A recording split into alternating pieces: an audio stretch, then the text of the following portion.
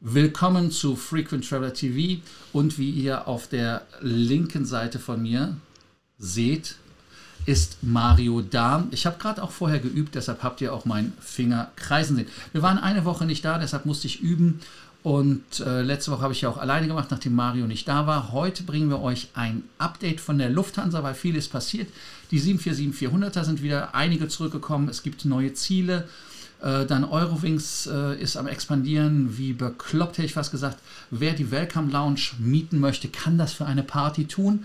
Dann hat die Lufthansa nochmal die Möglichkeit, Meilen bei einem Versicherungsberatungsgespräch zu bekommen. Ich habe wieder was vergessen. Ach ja, natürlich. Und zwar, es gibt eine Sonderende im First Class Terminal, was ja letzte Woche aufgemacht hat. Da werde ich mich auf den Weg machen, morgen oder übermorgen mir auch eine Ente zu besorgen. Und ansonsten, wie immer an dieser Stelle, kommt jetzt wie immer Mario das Intro.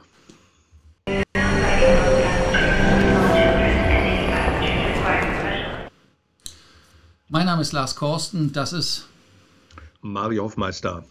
Und wir sind hier, um euch mehr Meilen, mehr Punkte und vor allem mehr Status zu bringen. Aber ihr wisst ja, ihr müsst zuerst arbeiten, bevor ihr bei uns einfach entspannt zugucken könnt. Ihr wisst, dass ihr uns subscriben sollt, also einfach abonnieren, die Glocke nicht vergessen. Dann ganz wichtig, unten kommentieren, nachdem ihr den Beitrag geliked habt. Also vier Sachen auf einmal tun. Ja, heute sind wir sehr Lufthansa-lastig. Ähm, wollen wir einfach mit der schönsten Sache anfangen, mit der Ente. Äh, hast du die Ente schon mal gesehen, Mario, in live? In live habe ich die Ente schon mal gesehen, ja, aber noch nicht in live in der First Class Lounge. Nein, Lounge, Entschuldigung, Lounge. Lounge. Oh, wow, wow, wow. Ich muss wow, Lounge das, sagen. Ja, das klingt ja. wie Lounge. Äh, naja. Ja. Ja, also die Ente ist ja eine Sonderente zur Eröffnung. Willkommen zurück steht drauf und dann natürlich die Gesichtsmaske, wie es sich gehört. Aber ich hatte es schon angedroht, ich werde eine besorgen. Vielleicht werden wir sie verlosen. Ja, dann das nächste Thema, was in meinen Augen spannend ist, ist, dass man bei der Lufthansa nicht nur die Ente bekommt, sondern es gibt einen neuen Strategiechef. Warum ist das wichtig? Es ist deshalb wichtig, weil der Jörg Eberhardt, Head of Strategy and Organizational Development. ein tolles Wort, ein tolles Wort. Ja. Ähm, er war vorher schon bei der Lufthansa Cityline und äh, er hat sogar einen Flugschein, also kann 320er fliegen äh, wird ihn wahrscheinlich auch current halten, dass er auch fliegen kann. Warum ist das der wichtig, Strategiechef? War er Vorstandsvorsitzender? Nein, wie der Vorstandsvorsitzende. Ach so, wieder, ja ja. ja, ja, ja, ja, ja, ja, ja, Carsten Spohr, Name der Redaktion bekannt und nicht geändert. Ja. ja, äh, ich finde ich find das spannend. Äh, warum Strategie? Ganz einfach, Strategie ist wichtig, wie sich die Lufthansa entwickelt. Und wir haben ja auch gesehen, die Lufthansa hat sich entwickelt mehr zu einem Leisure Carrier, weil die Geschäftsreisenden immer noch fern geblieben sind. Ich habe heute, glaube ich, äh, bei einem Branchendienst gelesen, dass die Geschäftsreisen auch so nicht in der Form zurückkommen werden. Deshalb bin ich mal gespannt, ob wir den Kollegen mal bei einem der Lufthansa Talks sprechen können. Und ähm, er uns vielleicht Einblick gibt in seine Gedankenwelt, welche Ziele, welche Strategie die Lufthansa verfolgt. Ja, das wäre sicherlich ganz interessant, äh, denn dass die Geschäftsreisenden nicht wieder zurückkommen, kurzfristig vielleicht richtig, langfristig habe ich da persönlich eine andere Meinung, aber der Mann ist der Experte, er wird uns sicherlich begründen können, können wie er darauf kommt. Ja, und wer jetzt von der Strategie keine Lust hat mehr, sich da die Ohren vollplanen zu lassen, von uns hat recht. Wir sind mit dem Thema am Ende. Wir gehen jetzt weiter. Die Welcome ja. Lounge. Ne? Welcome Lounge? Welcome Lounge, ja, da musste man was zu erzählen. Die Welcome Lounge am Lounge am Frankfurter Flughafen. Ja, also die Welcome Lounge äh, der Lufthansa mit 190 Gästen, davon 144 Sitzplätze, 660 Quadratmeter. Das sind schon äh, Zahlen. Äh, ja, warum kann man die mieten? Man kann die ganz einfach deshalb mieten, weil die halt im, ähm, ja, im Non-Air-Bereich, also Non-Airside äh, ist, also auf der Landseite ist, ohne Sicherheitskontrolle zu erreichen. Ja. Das ist einmal der Vorteil. Dann ist natürlich das ganze Lufthansa gebrandet, wer halt dieses Image haben will. Ich weiß nicht, warst du schon mal in Berlin in dieser Pan Am-Geschichte in, ja. ähm, ist das nicht näher Bikini oder wie das Ding heißt? Ja, genau. Das ist eine coole Sache. Der alte Flair der großen Pan Am es ist herrlich. Ich mag das. Ja. Also, wie gesagt, wer die Preise wissen will, sollte sich bei der Fraport melden. Ich weiß nicht, wäre das vielleicht ja. für eine Hochzeitsgesellschaft was, äh, Lufthansa-mäßig? Ist spannend. So. Wer flugaffin und Lufthansa-affin ist, also äh, sollten wir nochmal irgendwie uns entscheiden, dann würde das vielleicht eine Alternative darstellen. Ja, also man sieht halt auch, wie Fluggesellschaften immer wieder auf neue Ideen kommen, um äh, Revenue zu generieren, um äh, Geld einzunehmen. Warum? Weil die halt klamm sind. Und äh, das ist auch übrigens ein Thema, hatte ich für heute nicht vorbereitet, aber da können wir auch noch mal kurz drüber sprechen, wenn es ums Geld geht. Carsten Spohr hat ja noch irgendwie roundabout 4, 5 Milliarden vom Staat, hat gesagt, er möchte die Knete zurückgeben, bevor die Bundesregierung wechselt. Mario, kannst du uns ja, mal erklären, warum. Verstehen. du, bist ja schon fast bei der Erklärung. Ähm, Warum hat Carsten Spohr Angst vor der Bundestagswahl, die ja in zweieinhalb Wochen ist? Ne? Ja, naja, es kommt halt drauf an. Äh, Im Moment wird Deutschland ja noch, noch einigermaßen äh, anständig regiert. Sicherlich macht jede Regierung da auch mal den einen oder anderen Fehler. Da wollen wir jetzt nicht en Detail drauf eingehen. Aber sollte es tatsächlich zu einem gewaltigen Linksruck in Deutschland kommen, dann äh, wäre es, glaube ich, für die Lufthansa nicht gut, eine, dass noch eine Staatsbeteiligung da ist. Und äh, insofern kann ich schon verstehen, dass man da wieder unabhängig sein möchte. Dann, äh, wenn erstmal die ehemaligen Kollegen der SED, jetzt Linke, damit was zu sagen haben, äh, ich glaube, ich glaube, das ist nicht wirklich zielführend für, für die Lufthansa. Denn äh, wir wollen ja schließlich die Lufthansa bleiben und nicht die Interflug werden. Gut, ich meine, aus deiner politischen Zugehörigkeit kein Geheimnis. Oder wie Markus Lanz sagen würde, aus deinem Herzen keine Mördergrube. Man darf da ja auch gerne widersprechen. Kommentarfunktion. Ja, ich, ich würde das jetzt so formulieren. Mario setzt bewusst Reize, damit ihr Natürlich. unten einfach kommentiert. Äh, vielleicht habt ihr auch Gründe, warum Lufthansa Angst hat. Ich weiß es nicht, ob es angstgetrieben ist, aber ich glaube einfach, dass es Sinn macht, wenn die Lufthansa ihr Geld zurückgibt, weil sie hat ja auch mit der EU da ein bisschen den Clinch gehabt. Ja. Und ähm, es war ja es immerhin ein Kredit. Ja, ja, nein, es ist von grundsätzlichen Erwägungen, egal welche Regierung da nun, nun dabei ist. Äh, unabhängig von diesem Geld zu sein, ist sicherlich für ein Wirtschaftsunternehmen nicht schlecht. Und du hast es ja angedeutet, auch die EU war ja damit äh, nicht so ganz glücklich.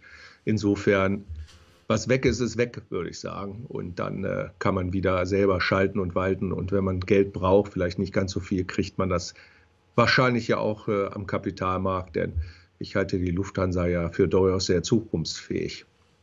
Ja gut, die Lufthansa hat ja einen Track Record, dass sie es kann und dass sie weiß, was sie tut. Und äh, wir können viel über die Lufthansa schimpfen und wir können halt sagen, was die schlecht machen.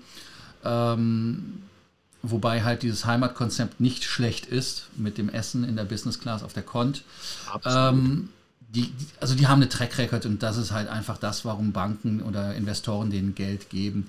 Und wir haben ja auch gesehen, die 787er, die sie gekauft haben, äh, zum Schnäppchenpreis, die fünf Stück, äh, sind spannend. Äh, da haben wir übrigens, wenn ihr länger dran bleibt, werden wir euch auch das erste Ziel verraten, was wahrscheinlich das erste Ziel ist. Also insofern ist das eine Möglichkeit für die Lufthansa, ja, mehr wieder im eigenen Haus zu sein und dann auch weiter auf Attacke zu schalten, wenn der Markt sich konsolidiert, weil man geht auch ganz klar davon aus, dass wenn der Markt sich konsolidiert, äh, dass man Airlines wirklich aufkaufen kann eventuell oder die ganz vom Markt verschwinden als Marktteilnehmer, weil sie einfach pleite sind. Und last but not least, äh, das ist ja das, wo die Lufthansa auch sehr, sehr stark ist. Und das haben sie mit der Austrian und der Swiss gezeigt, dass sie halt auch Leute integrieren können. Also ähm, absolut. Mit, äh, mit den Befindlichkeiten. Ja. Es gibt ja noch eine Menge Überkan äh, Übernahmekandidaten in äh, Europa.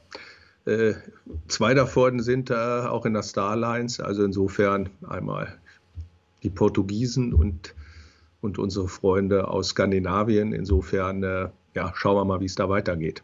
Ähm, ja, und die, wobei ich habe noch, die einen, Italiener. Einen. Ja, wobei die ITA ist ja im Moment mit, mit der Kuh ja. vom Eis.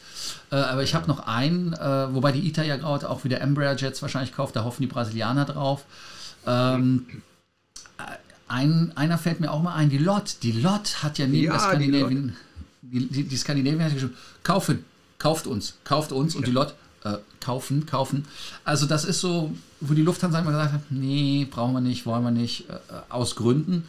aber auf die wollen wir jetzt nicht näher eingehen. Lasst uns einfach nee. mal wieder auf die frohe Nachricht vergehen, ja. äh, rausgehen. Die Lufthansa hat jetzt die dritte 747-400 aktiviert. Heißt also, die Lufthansa, äh, ja, sie macht die Flotte wieder stärker, weil man einfach festgestellt hat, dass der Markt anzieht, auch wenn die USA nicht aufmachen. Kanada macht auf. Mit, ja. äh, mit, mit Covid-Impfung kannst du nach Kanada. Das wäre natürlich auch super. First Class gibt es nicht, nur damit ihr Bescheid wisst. Also die 747 hat keine ja. First Class. Und, ähm, Und ja. Ja, äh, nicht nur keine First Class, sondern auch eine sehr interessante Business Class Bestuhlung. Die einzige Business Class Bestuhlung der Lufthansa mit drei Business Class Seats äh, in der Mittelreihe. Großartig, großartig. Also äh, kannst du nach rechts oder nach links über den Nachbarn steigen, je nachdem, wen du weniger magst. Aber das soll ja ein Ende haben. Wobei ich nach wie vor die 747 schönes äh, und wunderbares Flugzeug finde, auch die 747-400. Aber äh, da gibt es ja demnächst äh, die erste 787, den Dreamliner. Und äh, da sind wir mal gespannt, wie dort die neue, ein wenig abgegradete Business Class dann aussieht. Ja, also, ähm, einmal noch kurz zu 747-400, bevor wir zum Dreamliner ja. abwandern. Vielleicht verrät euch hier Mario das erste Ziel. Ähm, das erste Ziel, was wir mit der 747-400 fliegen werden, ist wahrscheinlich Dubai im Winterflugplan. Da geht es ja mit der 747-400. Da freue ich mich auch schon drauf. Wir werden Business Class fliegen. Mario kommt ja auch mit. Dann werden wir zur Dubai Air Show gehen. Also wenn ihr mitkommen wollt, kommentiert unten und äh, wir werden eine geile Zeit haben. Wir sind zwei Tage, drei Tage vor der Airshow schon in Dubai, werden dort Party machen, werden da schön lecker essen gehen und allem frönen. Ja, Mario, ähm, haben wir denn für die 787, wenn sie kommt, das erste Ziel, was feststeht? Weil wenn es ja nur ja. ein Flugzeug ist, ist doch das Problem, wenn es zum Beispiel Los Angeles wäre, da brauchst du ja, wenn du nach Los Angeles fliegst, zwölf Stunden und etwas, um hinzukommen, zwölf Stunden etwas, um zurückzukommen. Also jetzt übertrieben formuliert. Das sind ja mehr als 24 Stunden, deshalb kann man das mit einem Flugzeug nicht machen. Aber welches Richtig. Ziel ist es? Ja, es ist ein Ziel, was äh, auch von der 747-400 äh, angeflogen wurde, relativ häufig. Äh, und es liegt so nah dran, dass man diesen Umlauf äh, schaffen könnte, nämlich Toronto in Kanada, wohl auch aus Gründen, weil Kanada halt bereits die Grenzen wieder geöffnet hat. Und äh, Toronto ist ja für viele, sozusagen weiß ich das aus äh, eigener Unternehmenserfahrung, dort ist auch ein äh, spannendes Ziel für Business-Passagiere. Und äh, ja, es ist relativ nah dran am amerikanischen Kontinent und äh, insofern, warum nicht mal Toronto? Eine schöne Stadt, immer eine Reise wert. Lars kennt diese Stadt ja noch viel besser als ich. Ja, ich habe ja in Toronto gelebt ähm, und äh, bin halt übrigens sehr oft übrigens von, von Toronto aus nach, nach Amerika gefahren. Also das heißt, ähm, nach Buffalo, wie das so schön heißt. Ne? Das klingt so nach wilder Buffalo, Westen. An den Niagara-Fällen. Genau, an den Niagara-Fällen. Wobei ich da nie, also ich muss ehrlich sagen, also da habe ich nie gehalten. Ich bin von der Buffalo in die Outlets oder dann Best Buy. Was? Ja, was auch ja. nicht. Ich bin da unten rumgefahren und so weiter, habe es mir natürlich angeguckt, aber aber Toronto ist eine coole Stadt, kulinarisch sehr schön. Ja. Was viele nicht wissen, viele amerikanische TV-Shows werden dort gedreht. Zum Beispiel wurde Suits da gedreht oder dann Hannibal Lecter wurde dort gedreht, äh, weil es halt wirklich aussieht wie New York, wenn man die Schluchten sich in New York nicht auskennt. so ungefähr. äh, als ich da neu war, habe ich mich gewundert, warum auf einmal an der Straße so viele New York-Taxis standen mit äh, New Yorker Nummernschild und dann irgendwo so eine so, so eine Subway-Station, Treppe-Ding ging und dann gingst du guckst, da war gar nichts. Also, so willst du dich ja. verarschen oder was? Also das war dann so ein Fake. Aber das ist Toronto. Toronto kann ich wirklich nur jedem empfehlen, auch mit der 747-400. Ein geiles Ziel, aber davon haben sie ja drei Stück. Äh, Entschuldigung, mit der 787. Mit der 747. Jetzt bin ich nicht verwirrt, weil ich bin der 747 bin ich rübergeflogen. Aber es wird die 787 ja. sein. Ähm, da mit der verbesserten Business Class. Dann für euch noch ganz wichtig, wir hatten euch ja angedroht, ihr könnt Meilen kostenlos bekommen, wenn ihr bei der Ergo-Versicherung euch äh, zwei Gespräche antut. Soll ich antut sagen? Also wenn man die Versicherung braucht, dann, äh, dann ist es kein Antun, aber ansonsten, ja, vielleicht, nein. Ein Beratungsgespräch. Mhm. Ja, also es können bis zu 6000 sein, weil es themenabhängig 4000 oder 2000 Meilen gibt. Und ähm, so kann man da halt wirklich ähm, sich die Meilen holen. Aber wie gesagt, wichtig ist, ähm, dass man da dann sich durchhungert. Ich habe das ja in den USA auch gemacht bei diesem Vacation Ownership bei Starwood. Äh, als es die noch gab, da habe ich auch für 50.000 Punkte mir das angehört. Äh, das war ein Druckverkauf und 100.000. Ich habe nichts gekauft. Aber ich muss euch ganz ehrlich sagen, unterschreibt danach auch, dass kein Druck auf euch ausgeübt wurde und so weiter. Also es ist alles sehr, sehr lustig. Ähm, wer es machen ja, will, wer eine Versicherung braucht, dem kann ich das empfehlen. Ansonsten würde ich sagen, nicht nehmen, oder? Ja, wer noch ein paar Meilen braucht, why not? Ganz äh, genau. Ja, also, ähm, das sind so die Themen gewesen, die wir von euch, äh, für euch, von euch, von uns, für, für euch, euch, für euch, genau. äh, bringen wollten, wo wir dachten, das sind äh, Themen, die spannend sind. Ansonsten noch ein Lufthansa-Thema, was dir aufgefallen ist, Mario, oder sagst du, wir haben alles besprochen, da gibt es nichts mehr, weil der, Flie äh, der Winterflugplan äh, mit der 747 hat ja 26 Ziele. Ist das spannend? Es ist einfach nur spannend, weil es zeigt, dass es aufwärts geht, mehr eigentlich auch nicht. Ja, das stimmt. Auf der anderen Seite hat man äh, die Destination, die du gerne mal mit der Eurowings Discover ausprobieren wolltest, nämlich Las Vegas, erstmal wieder rausgenommen jetzt für den Rest des Sommerflugplans, äh, äh, weil halt die USA immer noch nicht öffnen oder geöffnet sind. Schauen wir mal. Ja, dann bleibt uns nichts anderes zu sagen, als dass ihr fleißig weiter kommentieren sollt, dass ihr fleißig abonnieren, Glocke anmachen sollt und ganz, ganz wichtig, diese uns liken. Und wir freuen uns, wenn wir euch mal wieder persönlich treffen. Wir werden mal wieder Stammtische machen, also da wird auch wieder was kommen. Ich sage hier an dieser Stelle erstmal von meiner Seite aus Danke. Ich weiß nicht, was Mario sagt. Ich sage selbstverständlich auch Danke. Danke, danke, danke. Wobei ich gestern bei Bild TV gelesen habe, äh, dass man sagen oder gehört hat, es ist ein Privileg, dass ihr uns zugeschaut habt. Das fand ich ein bisschen dick aufgetragen. Fand ich ja. pathetisch. Ähm, aber ich finde es ganz toll, dass ihr uns zuschaut. Ähm, Privileg würde ich Absolut. jetzt nicht sagen. Ähm, wir sind dankbar, dass ihr schaut und ähm, wir freuen uns, wenn wir euch auch wieder persönlich sehen. Oder wenn ihr einfach ein Beratungsgespräch haben wollt, unten findet ihr den Link. Da könnt ihr auch uns buchen und fragen. Könnt auch die Fragen stellen, wie kriege ich einen Senator im Moment vielleicht sogar ohne zu fliegen. Da gibt es auch einen Trick. Ja, da gibt es einen guten Trick. Sehr guten ja, Trick. Ja. Oder ansonsten, wenn ihr wissen wollt, Meilen, Statuspunkte und so weiter, wie das geht, mache ich mit euch gerne ein äh, Consulting, wo wir dann äh, uns eine halbe Stunde, dreiviertel Stunde, Stunde unterhalten also wie gesagt, unten den Link benutzen. Ansonsten, wie immer, freuen wir uns. Wir versuchen wieder regelmäßiger für euch zu kommen. Und ähm, bis bald von meiner Seite. Bleibt uns gewogen. Ciao.